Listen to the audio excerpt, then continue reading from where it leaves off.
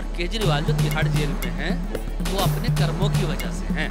उनको किसी ने फंसाया नहीं है, न मोदी ने फंसाया, न बीजेपी ने फंसाया, न किसी अन्य चीज़ ने फंसाया। आप घोटाला नहीं करते, आप जेल नहीं ये दिल्ली की जनता है, बहुत सहनशील जनता है। गठबंधन वाले ईवीएम पर आरोप लगा रहे हैं कि ईवीएम हैक हो जाती है और केजरीवाल का विधायक दिल्ली विधानसभा में लाइव टेलीकास्ट करता है ईवीएम का और बोलता है हाँ ईवीएम हैक होती है कि दिल्ली में केजरीवाल जी तीन बार से मुख्यमंत्री बनकर बैठे हैं तो इन इन लोगों ने ईवीएम को हैक किया था, इसलिए ये मुख्यमंत्री हैं।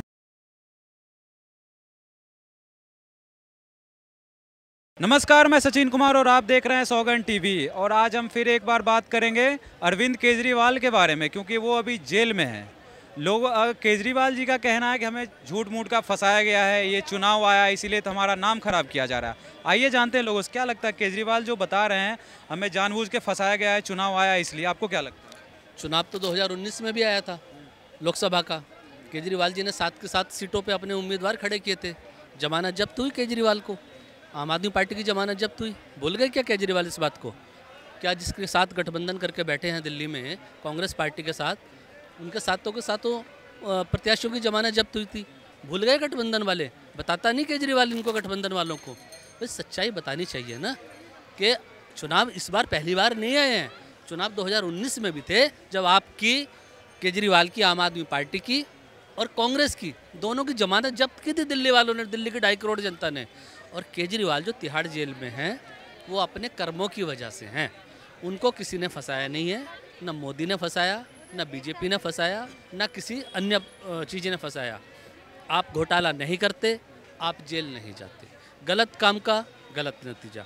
आपने दिल्ली की रामलीला मैदान में जब आंदोलन किया बड़े बड़े पोस्टर आपने लगाए। उस पर लगाई आपने गांधी जी की फ़ोटो। साथ में बिठाया अन्ना हजारे जी को। और क्या कहते थे आप?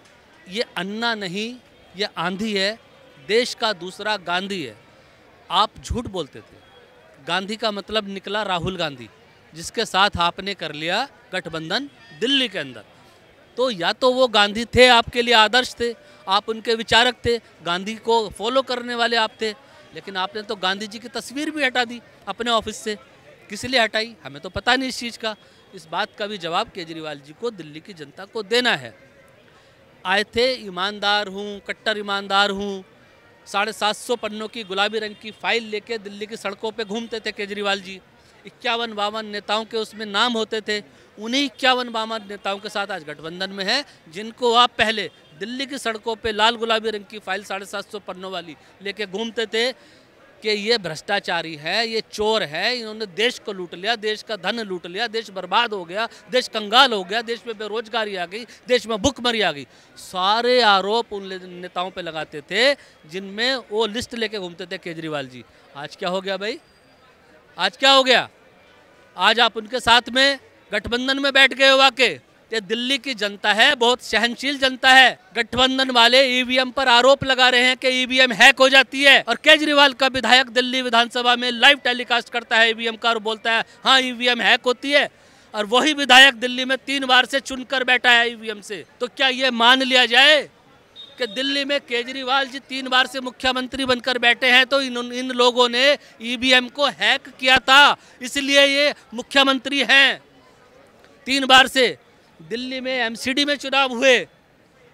एमसीडी में चुनाव हुए तो क्या यह मान लिया जाए? केजरीवाल की आम आदमी पार्टी के उस विधायक ने ईवीएम को हैक किया और आम आदमी पार्टी को जिता दिया।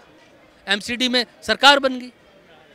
क्या ये भी मान लिया जाए कि अगर ईवीएम हैक होती है तो केजरीवाल की आम आदमी पार्टी के दिल्ली के उस विधायक ने पंजाब में भी ईवीएम हैक कर ली, क्योंकि वो सॉफ्टवेयर इंजीनियर है। आप कहना चाह रहे हैं कि जब विपक्ष का होता है चुनाव तो उस टाइम ईवीएम से ही होता है। जैसे ही मोदी जी का नंबर आता है ईवीएम खराब हो जाता है। बिल्कुल हिमाचल में इन्होंने जो केजरीवाल का विधायक उसने हिमाचल में भी ईवीएम हैक कर दी। वहाँ कांग्रेस की सरकार बन गई। कर्नाटक में भी हैक कर दी। वहाँ भी बन गई। पहले राजस्थान में भी कांग्रेस की सरकार थी। वहाँ भी ईवीएम हैक करके बने होंगे ये लोग। ये लोग इतने निर्लज लोग हैं न पढ़ते हैं, न लिखते हैं, दूसरों को अनपढ़ बोलते हैं। खुद पढ़े लिखे हैं और घोटाला किस बात का करके बैठे हैं? शराब का। पत्रकार महोदय, जब हमारे रिश्तेदार घर में आते हैं ना तो हमसे पूछते हैं, अरे, दिल्ली के मुख्यमंत्री हैं आपके अरविंद केजरीवाल जी, किस आरोप में वो दिल्ली में, जो है, तिहाड़ जेल में गए हैं? एक बार को तो हम उनकी बात को काट देते हैं। हमने सोचा, यार, बोल देते ज़मीन घोटाले में गए हैं। हमने कहा, नहीं, गलत हो जाएगा, झूठा आरोप है। भाई सब बताते हुए शर्म आती है। अगर ज़मीन घोटाले में, स्कूल घोटाले में जाते जेल में तो चलो हम बोल देते। बताना पड़ता है, बोलना पड़ता है, शराब घोटाले में जेल गए हैं। तो वो मुँह बनाते हैं, शराब घोटाले में, शराब में घोटाला। आप देख रहे हैं सौगंध टीवी, सौगंध वतन की।